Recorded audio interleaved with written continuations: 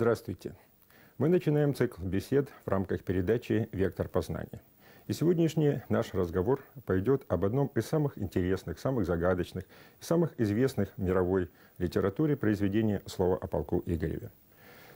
Несмотря на то, что об этом произведении написано очень много работ, более 15 тысяч, хотя в слове в самом всего лишь 7,5 тысяч слов, это произведение остается до сих пор загадочным. Мы не знаем ни когда оно точно написано, ни кто был автором, и даже мы не знаем, где оно было написано. Но самое главное – это постижение того смысла, который вложил автор, безымянный автор слова полко Игореве в это произведение. Для того, чтобы понять смысл произведения, нужно само произведение рассматривать в контексте той культуры, того мировоззрения и того сознания, когда оно было написано. Ведь э, если это XI или XII век – поскольку автор касается и событий XI-XII веков, то мы должны э, не только соизмерить вот эти события с нашим временем, но мы должны проникнуть в сознание этого безымянного автора, чтобы понять, что он хотел сказать, описывая этот исторический поход Игоря Святославича 1185 года на Полоцев. А самое главное, какую мысль, основную мысль он заложил в это произведение. Дело все в том, что древнерусские творения писались не по желанию какого-то автора. Даже не потому, что они хотели прославиться или хотели что-то особое подчеркнуть. Ведь э, об этом походе Игоря Святославича написано целых три произведения. Это летописная повесть в Лаврентьевской летописи, летописная повесть в Ипатьевской летописи и, наконец, жемчужина древнерусской словесности «Слово о полку Игореве». Если автор пишет произведение уже после того, как было написано целых два произведения, значит, он хочет добавить нечто такое, э, чего еще не сказали его предшественники. Это первое. Второе.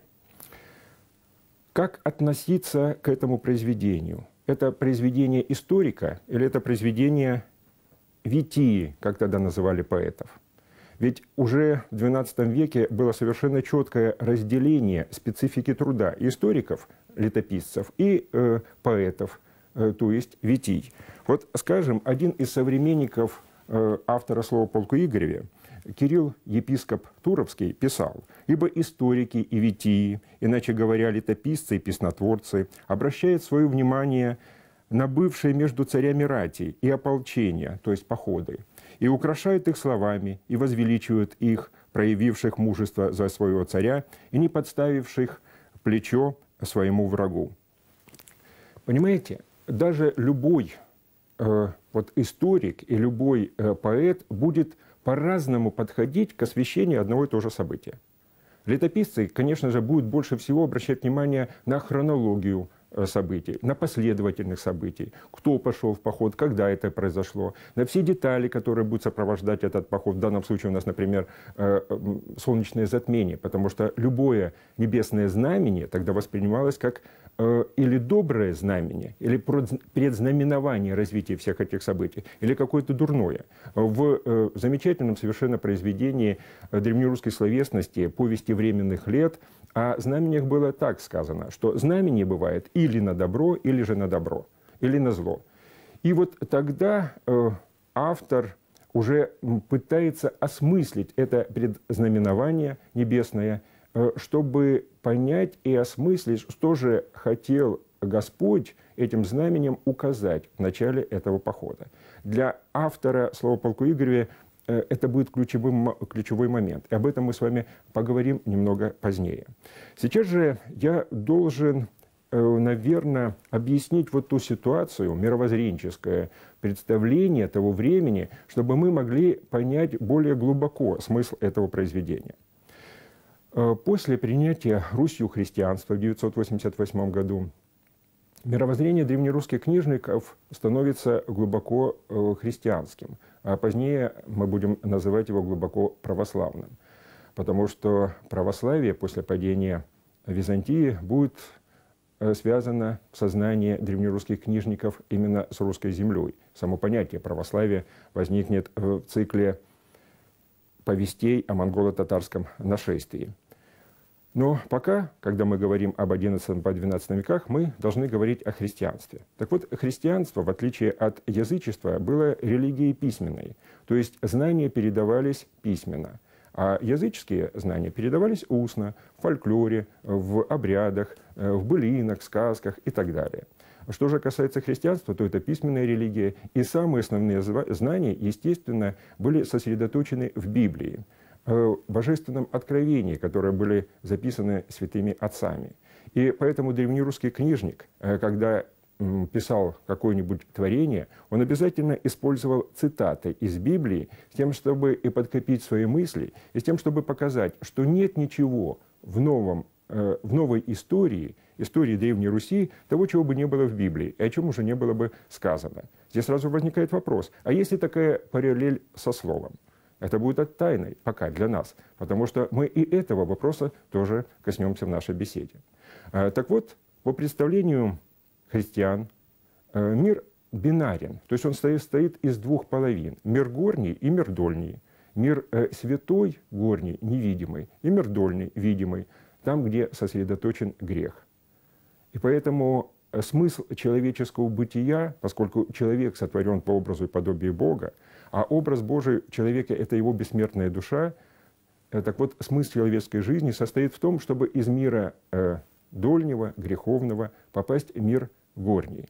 И поэтому основная тема всех древнерусских сочинений XI-XVI веков – это тема спасения души человека. Повторяю, эта тема будет присутствовать во всех произведениях. Сразу возникает вопрос, а была ли она в слово полку Игореве? Это тоже Э, наша беседа будет касаться ответа и на этот вопрос. Э, так вот, по представлению древнерусских книжников XI-XII веков еще не было причинно-следственных связей между событием. То есть одно событие является продолжением другого события. Но в это время была очень развита связь по смыслу, символическая связь. Э, за каждым действием, за каждым поступком, за каждым явлением природы виделся какой-то определенный смысл. И мы то же самое наблюдаем в слове полку Игореве. Э, поскольку если пересказывать сюжет, то мы должны практически слово в слово пересказать весь э, памятник. Э, если же мы пересказываем, скажем, летописную статью, то там будет хронология событий. Я должен заметить, что Поход Игоря Святославича э, состоялся в апреле-мае 1180 года. Игорь берет еще своего брата Буйтура Всеволода, о котором говорится э, в повести, а древнерусский автор э, слово называет именно повестью, исторической повестью, трудных повестей, трудных это, с одной стороны, и ратных, а с другой стороны и сокровенных, то есть в них кроется какой-то определенный смысл, уже загадки в самом начале слова появляются, об этом мы с вами тоже будем говорить. Э, так вот, э, Игорь с братом, племянником и сыном отправляется в этот э, поход. Еще только одно событие в истории Древней Руси, а именно Куликовская битва 1380 года, вызовет тоже э, три исторических памятника. Летописную статью, Э, замечательное сказание о э, битве Куликовской, сказание о Маваевом побоище, и, наконец, Задонщину, памятник, который почему-то перекликается своей художественной системой и повествованием, и будет содержать много цитат со слова полку Игореву. Значит, это происходит осмысление нового исторического события уже через призму нового времени, как минимум конца XIV, может быть, даже э, начала XV века, скорее всего, даже XV века. И э, можно сказать, что автор Задончина был один из э, ранних известных нам э, читателей слова полку Игоря, потому что он его будет интерпретировать. Э, есть ли в этой интерпретации определенные подсказки нам? Да, конечно же, есть. Вот как раз то, что касается символичности Э, слово о полку Игореве. Слово полку Игоря э, баян называется вещим. Баян, который может возлететь к небу и оттуда э, «Вощекотати». Э, э, щекот – это соловьиное пение. «Вощекотати» и «Вославить» поход и древних князей, еще предшественников Игоря. И если бы он был жив, то непременно бы и, конечно же, бы «Вощекотал» и поход Игоря Святославича. Это образ, а даже скорее символ, баян как соловей своего времени. Но соловьи под небесами не поют. Э, под небесами поют жаворонки. И вот это э, существенное э, замечание автора Задончина, поскольку ему понравился этот образ поющего соловья, но и понравился образ поющей под небесами птицы. И он этот образ разделил древнерусский образ XII века разделил на два. Он показывает, что уже поход Дмитрия Ивановича Донского воспевает жаворонок под небесами, а где-то на земле поет соловей об этом походе. Вот эта вот маленькая деталь, она э, четко, совершенно э, объясняет нам, э, как э, символическое мышление постепенно э, развивается и появляются прагматические связи, и это мышление уже обнаруживает и причинно-следственные связи, потому что есть причина, есть следствие, и, э, соответственно, уже э, таким образом повествуют о походе Дмитрия Донского. Но мы еще обратим внимание, какой был поход что было целью Игоря Святославича и что было целью похода Дмитрия Донского. Потому что это тоже э, сравнение, есть э, контраст. И этот контраст появляется и проявляется уже э, в э, Задончине. И э, мы видим как автор Задончины оценивает поход Игоря Святославича и, соответственно, как он оценивает поход Дмитрия Донского. Но еще несколько слов о XII веке, о времени, когда было написано слово. А, на что здесь авторы обращают внимание? Что любой князь имеет власть от Бога, потому что всякий дар свыше есть. Не есть власти не от Бога, но всякая власть от Бога. Вот это вот выражение «не есть власти не от Бога», оно не совсем точно сейчас пере, э, переводится. Потому что «не есть власти не от Бога», э, точнее перевести нужно бы, было бы так э, «не власть, если не от Бога». У нас же существует другой перевод – нет власти не от Бога. Это ну, совершенно два разных понятия. Так вот, княжеская власть воспринималась как Богом данная. А если княжеская власть от Бога, тогда княжеское служение – это есть мирское служение Богу. К чему оно сводится? Защита своего Отечества, то есть княжества, э, защита веры православной и защита православного народа. Вот эти три э, действия, собственно, мы видим э, в э, деяниях э, древнерусских князей, которые были прославлены в лике святых. Например, Владимир Мономах, Александр Невский, тот же самый Дмитрий Донской, о котором мы уже сегодня упоминали. Значит, э, вот из, исходя из этого служения, мирского служения Бога, мы должны и оценивать деяния всех князей, в том числе, естественно, и Игоря Святославича. Что касается славы и чести, потому что об этих понятиях э, также идет речь слова о полку Игоря. Смотрите, э, поход Игоря вызван желанием славы. «Хочу, бо с вами русицы копье преломите конец поля Половецкого, а люба испите шаломяням Дону Великого». Это одна цель похода, другое – переднюю славу похитим, а заднюю поделим. Князь идет в поход ради славы. И э, Желание этой славы, мирское желание славы, оно греховное, представление древнерусских книжников. Э, скажем, Борис и Глеб, э, первые русские святые XI века, говорят, не славы ради мира сего прожили они жизнь, а Игорь идет именно ради славы мира сего. Значит, его поступок уже изначально греховен. Э, на это обстоятельство я хотел бы обратить внимание, потому что нет человека не без греха. Э, любой человек может согрешить, но э, самое важное – покаяние. И эта тема тоже будет присутствовать слово о полку Игореве. Видите, мы рассмотрели небольшой круг проблем, которые автор затрагивает в слове полку Игореве. и э, те проблемы, которые были очень важны для XII века. Я здесь еще должен добавить, что древнерусское сознание было глубоко эсхатологичным. Что это значит? Это значит, что по Библии сказано, Господь сотворил мир, и этот мир во времени конечен, и наступит конец света – по древнерусским представлениям, э, конец света должен был завершиться первоначально, около 1038 года.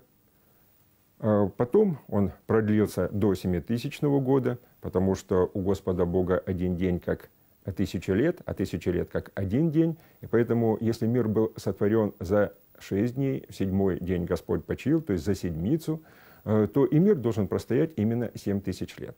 И э, понятно, что э, тогда любой древнерусский человек, православный человек, естественно, задумывался над тем, что он скажет Господу, Творцу своему, пославшему его в этот мир, э, на страшном суде. А эта тема присутствует и в слове полку Игорю. Не хитру, не гораздо, не пыцу гораздо, суда Божьего не минуте. Э, может быть, конечно, по-древнерусски не совсем понятно. Э, хитрец – это творец. Значит, не творцу, то есть человеку творческому, не умельцу, не человеку пытливому, знающему, все равно суда Божьему не минуть. Значит, соответственно, и Игорю Святославичу. Задумывался ли он над этим, когда отправлялся в этот поход? Можно сразу сказать однозначно нет. Ведь почему слово полку Игореве долгое время считали, что это подделка – Э, Причем э, довольно-таки известные ученые и XIX века, и XX э, веков.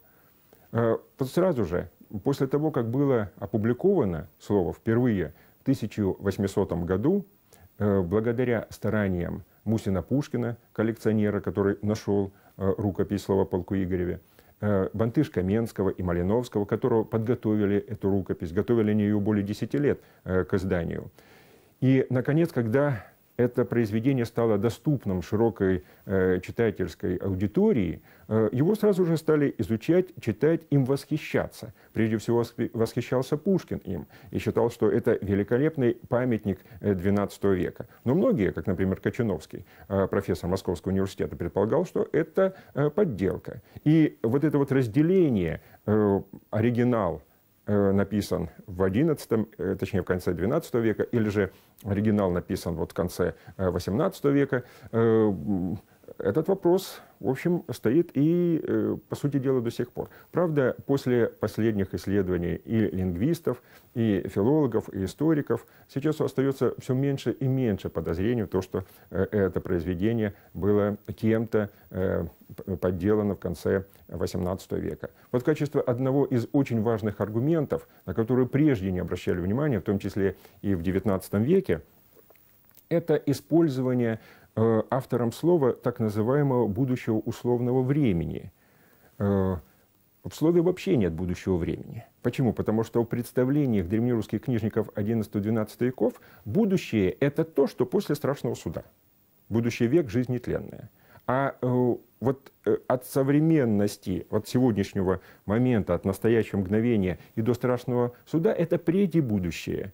Как э, говорил Нестор, автор э, знаменитой вот летописи «Повести временных лет». Кстати, она тоже называется «Повесть временных лет», потому что писалась до страшного суда. Может быть, мы когда-нибудь с вами об этом еще э, поговорим. Э, так вот, э, автор слова, поскольку он нам принадлежал по своему мировоззрению XII веку, он тоже не использует глаголов будущего времени, так характерных для нас. И поэтому, когда он говорит о будущем, возможном, это я хочу особенно подчеркнуть, то он говорит, э, э, добавляет Э, пристав «аще». То есть если, э, скажем, Игорь бежит из плена в русскую землю, Гзак, Кончак скачет э, ему во след, старается его догнать, и состоялась беседа у них. Аще сокол летит к своему гнезду, то опутаемо соколенка красную девицею аще опутаємо соколенка красную девицу, то нам не будет ни соколенка, ни красной девицы. То есть разговор о том, что если Игорь бежит, а он бежит сам, а его э, сын Владимир Игоревич остался в плену, то его нужно женить на Кончаковне. Совершенно очевидно, что автор слова знал об этом, потому что он писал уже после этих событий, но он использует именно условное это время. Аще, если бежит, то опутаем. Если опутаем, то не будет нам ни соколенка, ни красной девицы поддельщик, или точнее автор слова 18 века, он бы обязательно ошибся в использовании такого времени. То есть он бы говорил бы так, как нам э, сейчас привычно говорить, потому что в 18 веке были именно такие уже формы э, будущего времени. Это вот маленькая деталь э, свидетельствует о том, что чем больше мы углубляемся в текст слова, тем больше мы можем раскрыть э, его тайн. И вот э, уже э, после публикации слова Э, возникает два лагеря. А одни сторонники слова считают, что оно, конечно же, э, оригинальное произведение, и в нем э, много архаизмов, ну, скажем, представления или упоминания различных языческих богов, и Перуна, и Дачбога, и Стребога, и Хорса. Другие же сторонники гипотезы о подделке говорят, нет – а слово полку Игоря не может э, быть написанным в XII веке. Почему? Потому что в нем много архаизмов. Э, там упоминается и Дашбог, и Хорс, и э, Перун, и так далее. То есть, э, смотрите, одни и те же э, данные э, сторонниками и противниками э, оригинальности слова полку Игоря э, используются в качестве аргументов. Э, причем э, э, противники э, подлинности слова – Э, настаивают на том, что языческое произведение, они полагали, что слово языческое произведение не могло быть написано в XII веке, когда вся культура была христианской. И это было одно из э, важнейших их э, аргументов. Один из известнейших и старейших медиевистов Западной Европы, профессор Римского университета Рикард Пикио, замечает, что если бы мы сумели поместить слово полка Игореве в его естественный религиозный контекст, то мы бы смогли преодолеть многовековое предубеждение. И он абсолютно в этом прав. А, значит, мы должны найти что-то такое в слово полка Игореве, что абсолютно бы однозначно его поместило бы в XII э, век. И уже бы не возникали никаких вопросов, подделка это или нет. То есть, э, видите, даже в самом тексте вот в обширном тексте слова эм, содержится вот эта вот большая загадка. Э, языческое это произведение или христианское? Если христианское, то почему в нем указан только всего лишь один раз Бог, когда Игорь уже бежит из э, плена Половецкого в землю русскую? Господь Бог путь кажет Игорю из земли Половецкой в землю русскую к отню злату столу. То есть э, к отцовскому столу, Черниговскому княжеству, хотя Игорь бежит, как мы знаем по летописи, в свое родное княжество, Новгород-Северское, причем даже не в его столицу Новгород-Северский, а в Путивль, где его ожидает жена. Тогда э, э, почему э, автор указывает э, на то, что Игорь достигнет э, Черниговского стола? Это тоже одна из загадок. И, и почему именно в конце произведения указан Бог, а до этого э, ни разу он не упоминался? Видите, у нас очень много э, загадок в этом произведении мы обнаружили. И вот теперь наша дальнейшая задача попытаться раскрыть тайное слово полку Игореве, попытаться обнаружить и время его написания, попытаться ответить на те вопросы, которые мы здесь заданы, христианское это произведение или языческое, и самое главное, в чем смысл этого произведения. Но об этом мы с вами поговорим в следующей передаче из цикла «Вектор познания». Всего доброго, до свидания.